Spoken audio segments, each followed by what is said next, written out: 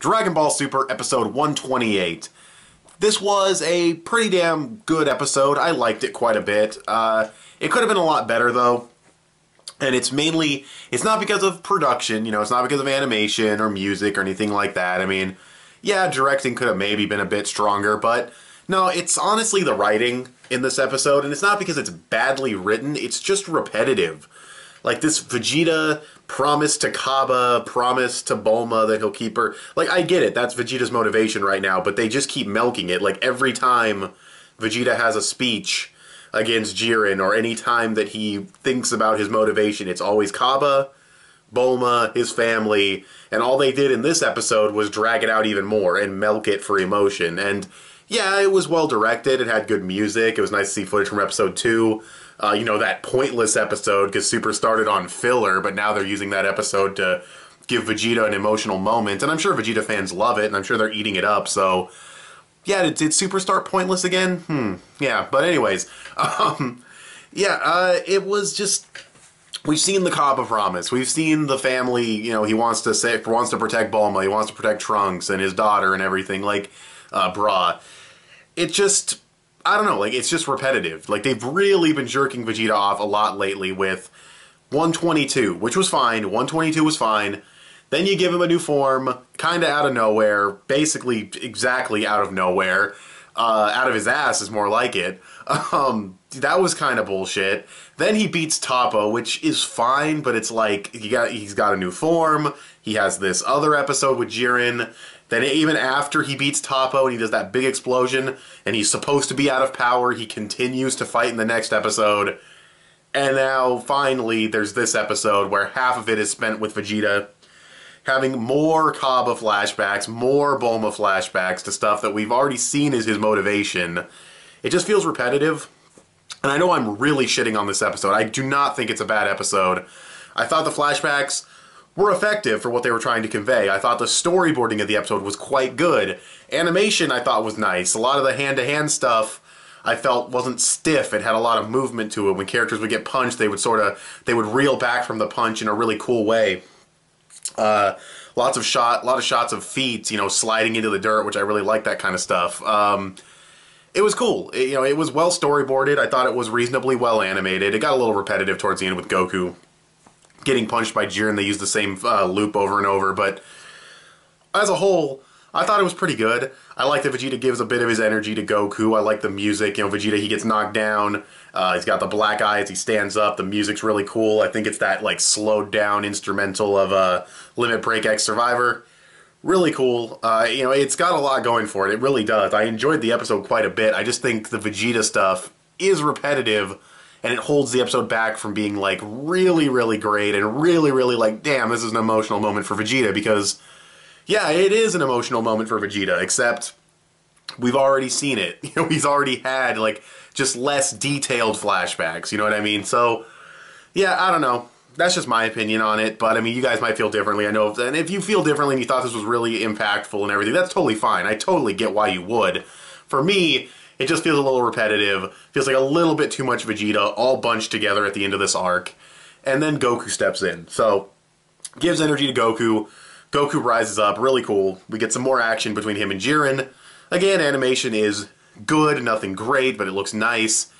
And then Ultra Instinct comes back. That's that's the big seller at the end of this episode is the return of Ultra Instinct. And that oh, that gut punch. You see it in the thumbnail. It had to be the thumbnail. It's kind of a spoiler for the episode to show that he gets Ultra Instinct, but I, I had to. Like that that angle and then Jiren's face right afterwards. We have never seen Jiren get rocked that hard. That was so satisfying to see. And of course, Ultra Instinct, the aura comes in full. Everyone's happy to see it and that's where the episode ends. And then going into next week's preview, that episode looks fucking. Oh, I'm ready for. I am so ready. I can't believe we have to wait because it's not going to be next week. For those of you guys who don't know, it's going to be the week after next week, which really sucks. But uh, there's a break, so you know. But hey, that helps with production, and that episode looks so good. I mean, I don't think this break will help with this next episode in particular. Maybe with episode like 131 or 130, maybe, but yeah, that was yes, please. That episode, like right now, that episode looks so fun. Uh, Bailey's based on like the 30 second preview, but it looks really cool.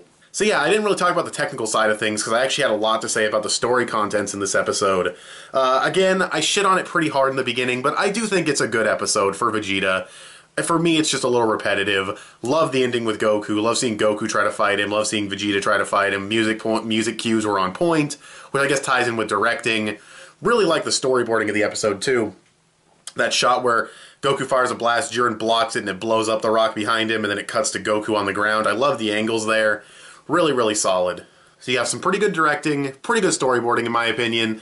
Uh, music, like I said, was great. I love the music cues. Pacing was solid. Uh, I think it felt a little slow towards the end with a lot of like staring at each other with Ultra Instinct, but I get it. You want to build it up for the next episode, and I was hoping to see a little bit more of it. So that's not really a pacing issue. It's sort of a me issue. But uh, other than that, no, it was just a really, uh, really well put together, really solid episode.